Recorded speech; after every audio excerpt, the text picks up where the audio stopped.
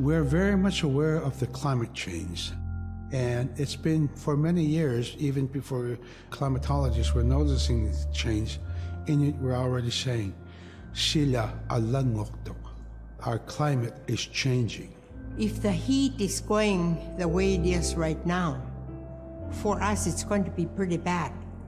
Different birds are coming, and they're coming earlier, and sometimes rain is more than what we want because when there's more rain, we know it's going to melt the permafrost. In my time as a young whaler, when I was nine years old, we're hunting from ice that was about 25 feet thick. And there was giant icebergs already floating, coming by. That was the first signs of a changing climate. Ice that never broke before was now moving. Now, here it is 50 years later, we're hunting whale from ice that's 18 inches thick. There's no more thick ice. It's creating a malfunction in our whaling season, is, is what it is. And actually, more than that, all seasons in general. I think we are more scientists than more people will realize. We have more knowledge of those things than people will ever know.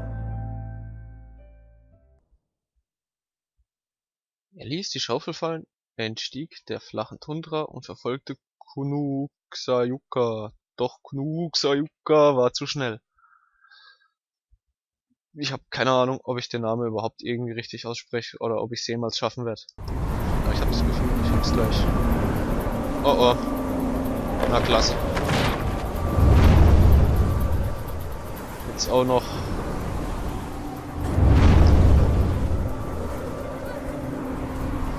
Ähm, was?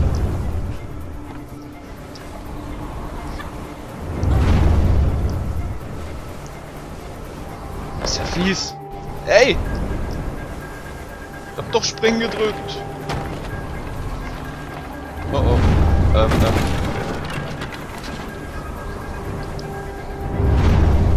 Zieh hoch.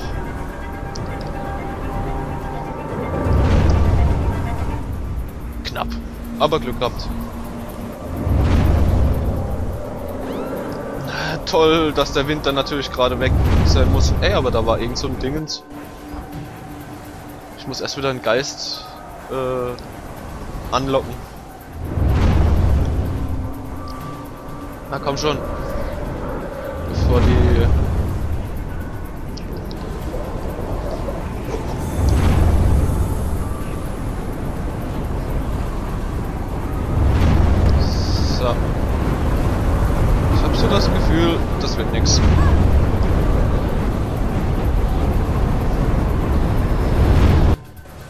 ist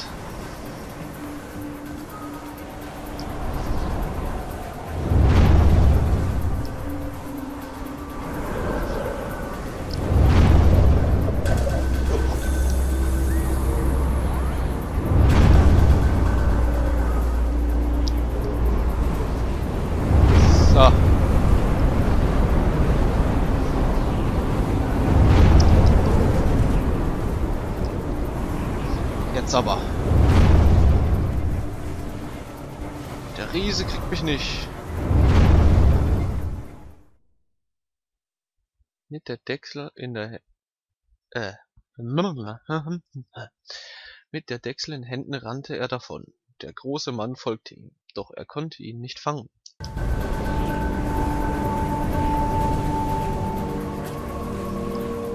Okay, es scheint so, als ob ich jetzt alle Levels nochmal rückwärts durchlaufe. Ähm.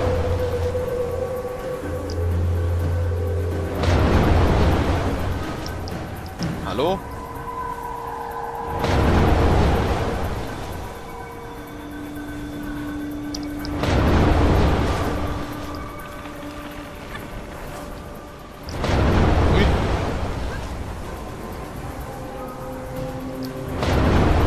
Also der Fuchs ist schon komisch drauf manchmal.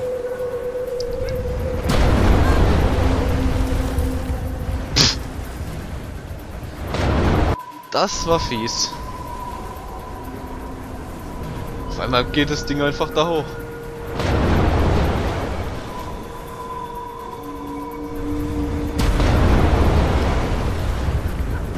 Na hopp.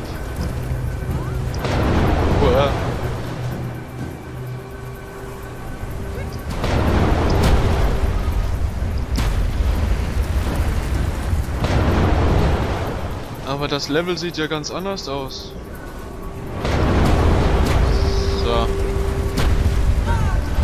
Nein!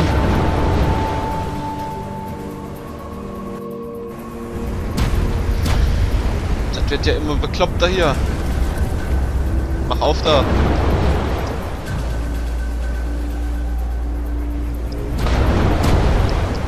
Sag mal, zieh die Fische jetzt an.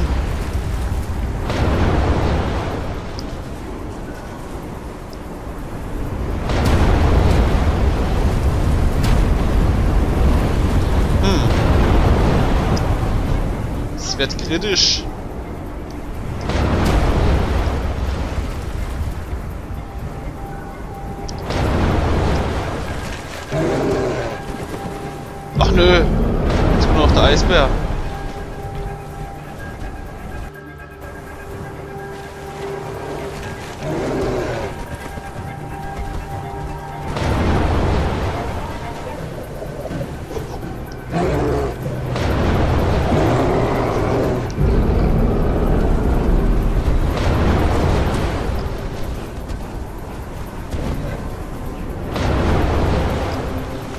Den Bär jetzt halt vor mir herscheuchen, oder was?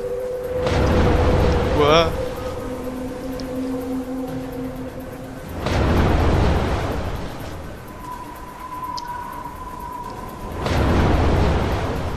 Okay. Der Bär ist weg.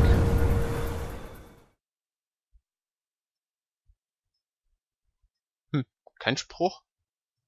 Na gut. Niversiarualak Çok aymağı minyon.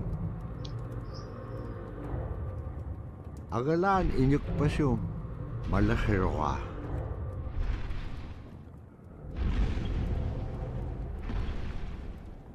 Ukahon eh. Ulimaw di ka kaisong. Nibiyak siya ka roon loob. Kau-tau di ka ulimaw.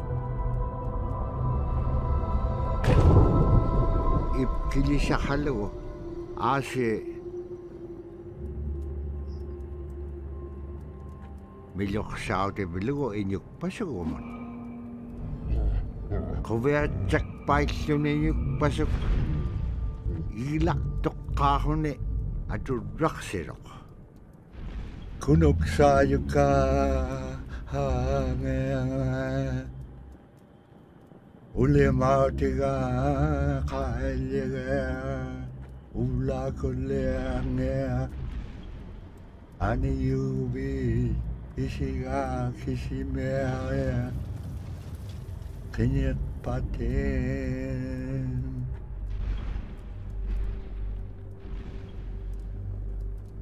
Niviaqsiaqarualuk illatitqiksuq angayuqaagmiñut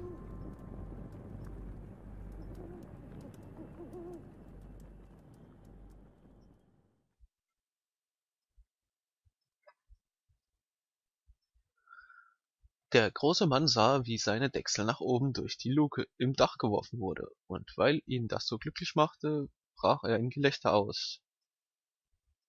Kunuxia Yuka Aria Ha Oi oi Hi Hm. Ist ja heftig. Okay. Das letzte Dingenskirchens habe ich jetzt wohl auch freigeschaltet. Scheint so, als ob die Geschichte jetzt halt zu Ende wäre. Schade. Teriganniam nukatpiam uqallautiga niveaksiagarualuk Ilaannin iñuuniaqaluaquvit aullangagaluaquvit aisuliquvit итқарсарагма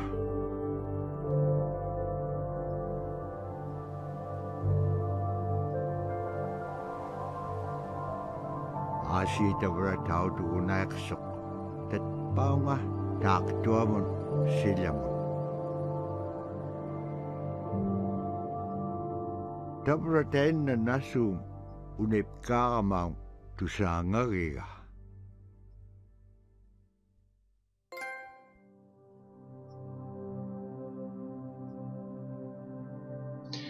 Tja, das war's wohl mit der Hauptstory bei Never Alone. Ja, ganz cool.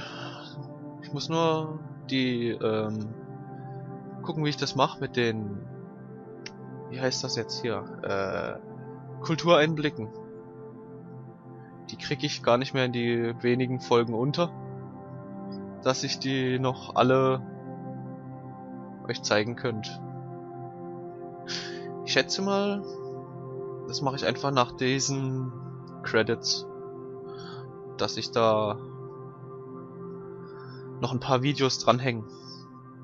Also noch nicht wegschalten. Äh, da kommt noch einiges Interessantes dann. Und dann, weiß ich nicht, gibt's ja noch die Fox Tales. Und vielleicht mache ich es aber auch so, dass ich die Fox Tales einfach spiele und sie da dann dranhängen.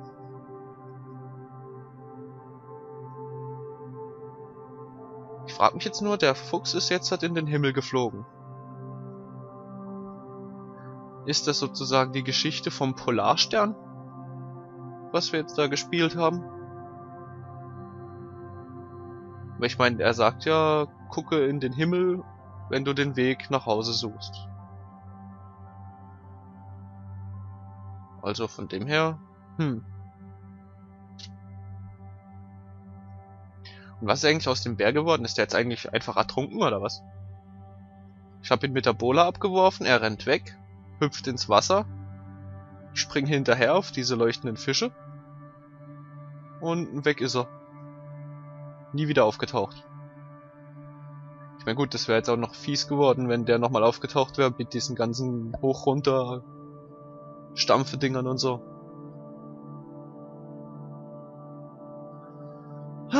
Aber wenigstens hat dieser fiese Fettsack da seine Strafe gekriegt. Schon mal sehr gut, finde ich. Kann ja nicht angehen, dass der da einfach hingeht und mein Haustier killt, ohne dass er eine aufs Maul kriegt. Aber, ja, da ist er auch selber schuld, wenn er dann wiederkommt. Frag mich sowieso, was er dann noch gewollt hat. Ich meine, er wollte diese Bola haben, die habe ich ihm dann halt zugegebenermaßen an den Kopf geworfen. Aber danach kommt er ja und, komm her. Wo ich dann dachte, ja, was will ich denn jetzt noch?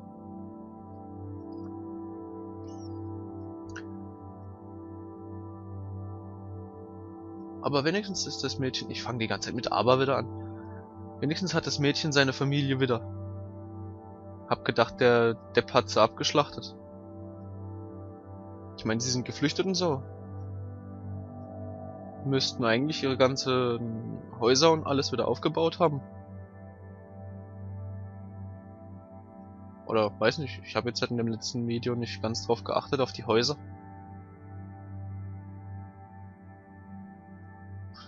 Naja. Dann gucke ich mir jetzt noch die Credits an. Und mache vielleicht noch ein, zwei Videos dann. Die ich da hinten dran klemm. Von den Kultureinblicken.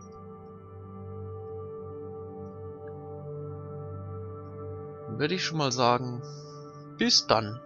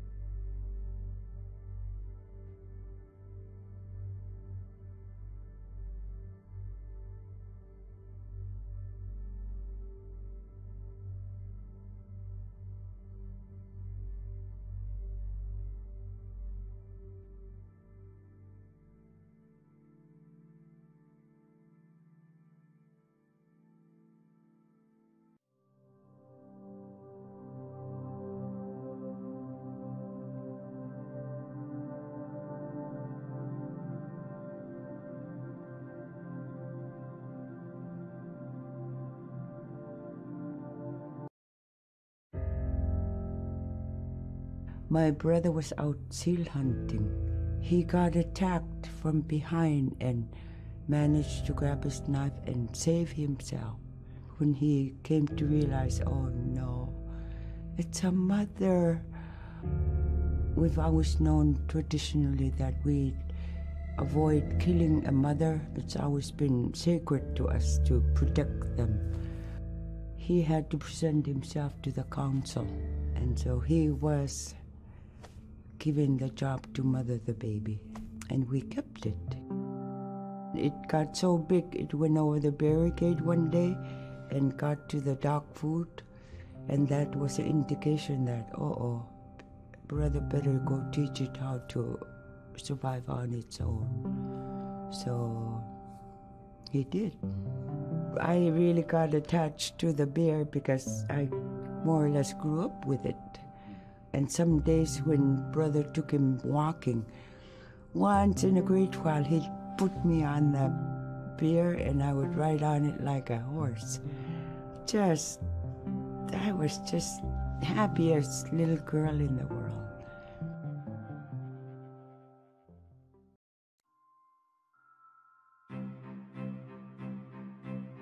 In you know Arctic Alaska, hunting is a really important part of life. It's not just about going and shooting something; it's about going and putting food on the table. But more importantly, you know, subsistence hunting isn't just about the insular family unit. It's about feeding the whole community, and I think that's one of the beautiful things about subsistence hunting in Alaska is that people go out and they'll go get you know fish or they'll get a caribou and they'll get you know seals and whales and one of the first things they'll do is they'll say, Oh, I need to take this to the elders. This isn't just about one individual surviving or one family surviving, it's about the whole community. We didn't just go out and kill and put and put in a freezer. It's like a ritual that I learned from my parents. It's it's all about relationship. I don't know. I, I think there's there, there's a lot of camaraderie involved uh, and and and just being out on the land or being out on the ocean it's like getting back in tune. I'd rather be out there. To me once i go out there it's the world that i learn from